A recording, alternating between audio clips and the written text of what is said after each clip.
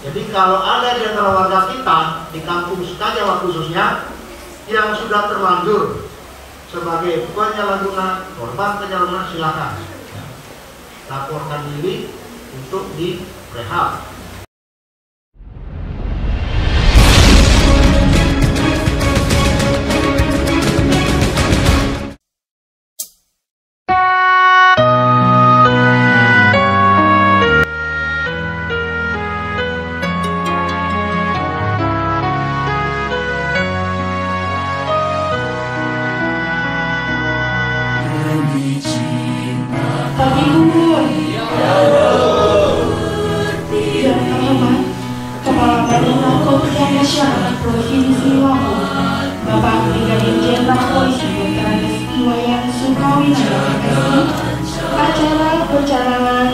Sukajawa bersih narkoba. Hidup 100% menuju Sukajawa bersih narkoba. Sehat, sadar, produktif, dan bahagia. Untuk acara yang pertama yaitu pembukaan marilah kita buka. Acara ini dengan baca lama Basmalah Bismillahirrahmanirrahim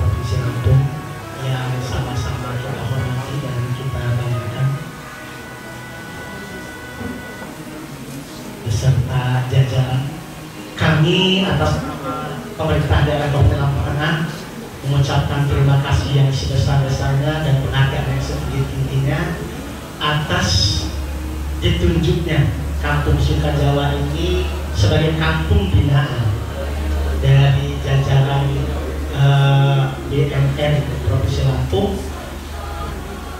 Tentu kami sangat mengapresiasi ini setelah nanti kampung Sukajawa ini menjadi kampung binaan BNN Provinsi Lampung kita benar-benar merasakan benar bertekad berikrar menjadi kampung yang bebas kemarin mungkin kita bersama-sama memaklumi bahwa ada fakta bahwa kita sempat tercoreng karena narkoba. Tetapi saya mengajak kita jadikan kemarin itu justru menjadi intiba, menjadi introspeksi, sekaligus menjadi cambuk bagi kita untuk bersama-sama bertekad untuk kampung Sukajawa ini benar-benar menjadi kampung yang bebas narkoba.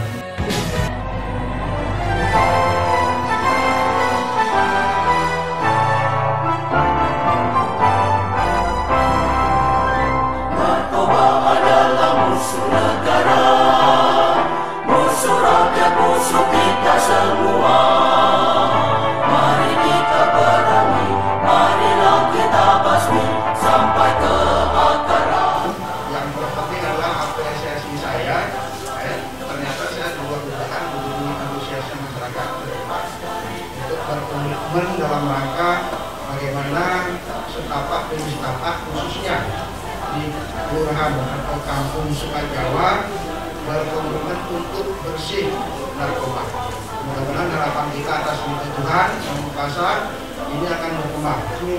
Amin. Satukanlah visi Satukanlah misi Perangi dan Tabengkul. Yang saya hormati Bapak Bupati Lampung Tengah, dalam hal ini diwakili oleh Bapak Sen Satu, Kusuma Riyadi, kemudian Bapak dari Dandim 0411 atau yang mewakili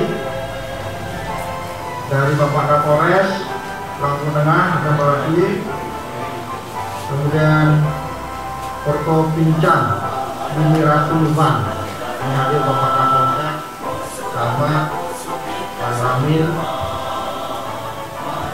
Eh, Bapak Ibu tokoh agama, tokoh masyarakat, tokoh adat, Bumi Ratu Luban yang hormati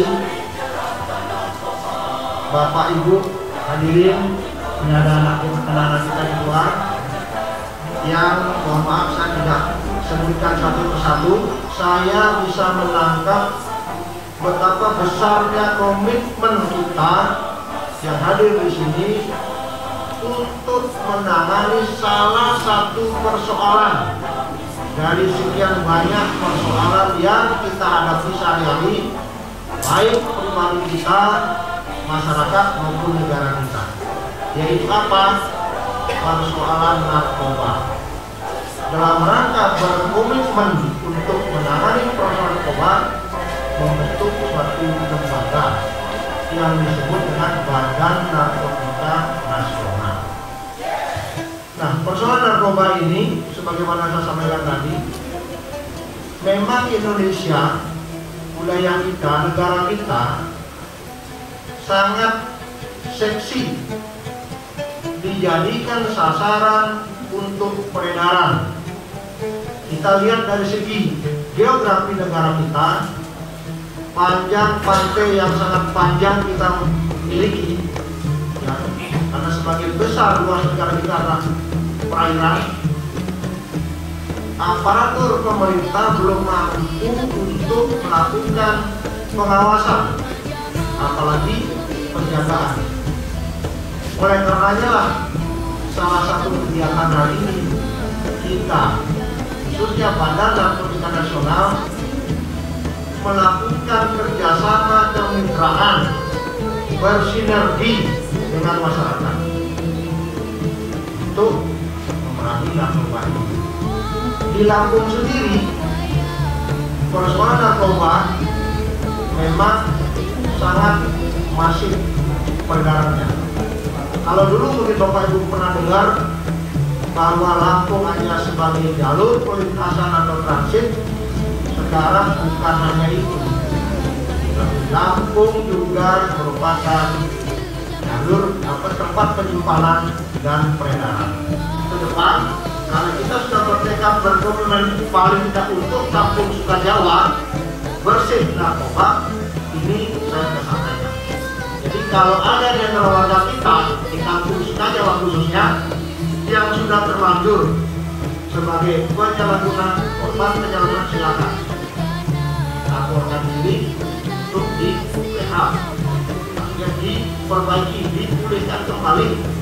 Saya sangat gembira sekali menyambut kegiatan ini. Kami mendapatkan sesuatu ilmu yang sangat bermanfaat. Penyaman Bapak yang mungkin sebenarnya tidak terlalu banyak, tapi itu sangat penting buat kami yang merasa kebingungan dalam rangka untuk pencegahan peredaran narkoba. Setidaknya penyampaian Bapak tadi memberikan gambaran-gambaran yang cukup jelas kepada kami. Kami simpulkan peredaran narkoba itu setidaknya ada faktor-faktor yang sangat komprehensif, yang sangat kompleks. Yang pertama adalah faktor individu, yang kedua adalah faktor keluarga atau sosial atau lingkungan. Terus yang ketiga, ini yang sangat berat sekali buat kami Pak, ada faktor ketersediaan narkoba. Kami tahu sebenarnya kami harus melaporkan ini sebagai tindak pencegahan, tapi kami nggak tahu gimana caranya. Karena kami juga sadar bahwa melaporkan ini adalah sangat beresiko. Karena pasti sindikat peredaran narkoba itu pasti tidak ingin kegiatannya terjun oleh aparat. Terus mekanisme prosedurnya itu seperti apa Pak? Supaya Pak bisa melapor, cara kalau buat surat-surat ke mana, apa, dan datang ke kantor apa. Dan nanti dia dirawat di mana. Dan benar-benar terjamin tidak akan ditahan Pak. Karena masyarakat selalu masyarakat awam, karena yang bicara itu dia takut melaporkan takut di sel karena main narkoba itu kan bayangannya sel Pak. makanya gua kalau udah kata bapak sulit Pak. tapi dengan adanya desa kami terpilih sebagai pesinar kami selalu saya ketua RT semuanya kami akan berjuang Pak. Apa pun itu resikonya. Karena kita memberantas memberantas hal kita mati jihad Pak. Karena jihad itu bukan hanya mati beda perang ya Memberantas narkoba kita mati kita kebenaran kita jihad dalam hal penanganannya BNN itu lebih kalau boleh katakan komprehensif lebih lengkap. Di mana salah satunya? Di Polri itu tidak ada lembaga rehabilitasi. Yang ada di BNN saja. Hari ini detik ini kita nyatakan dan menginformasikan bahwa kampung kita, kampung kita Jawa bersih narkoba dan semoga ke depan komitmen ini berkelanjutan. Amin.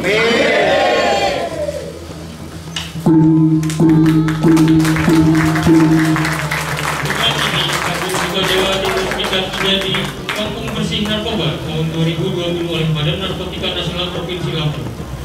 Izinkan kami sebagai tokoh pemuda Karang Taruna akan meng- akan menyatakan ikrar kepada Bapak Ibu semuanya boleh mengikuti kami.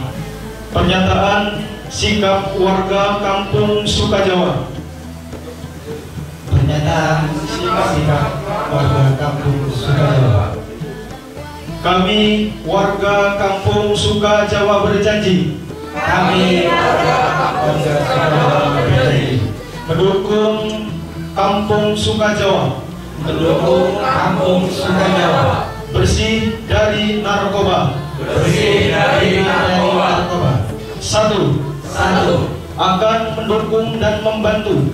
Akan mendukung dan membantu. Program pemerintah. Program pemerintah. Dalam pemberantasan narkoba. Dalam pemberantasan narkoba. Dua. Dua. Menjalankan semangat menjalankan semangat dalam Sainu Tudra dalam Sainu Tudra di lingkungan anak-anak di lingkungan anak-anak pemuda pemuda pelajar dan masyarakat pelajar dan masyarakat terutama di kampung Sukajawa terutama di kampung Sukajawa. Tiga tiga berkomitmen akan menjadi generasi berkomitmen akan menjadi generasi yang terus meneriakan yang terus meneriakan perang terhadap narkoba. Perang terhadap narkoba. Empat empat. menjaga marwah kampung Sukajawa. Menjaga marwah kampung Sukajawa. Untuk tidak terlibat untuk tidak terlibat dalam pengedaran narkoba. dalam pengedaran narkoba penggunaan narkoba. Dan penggunaan narkoba. Sukajawa 27 Oktober 2020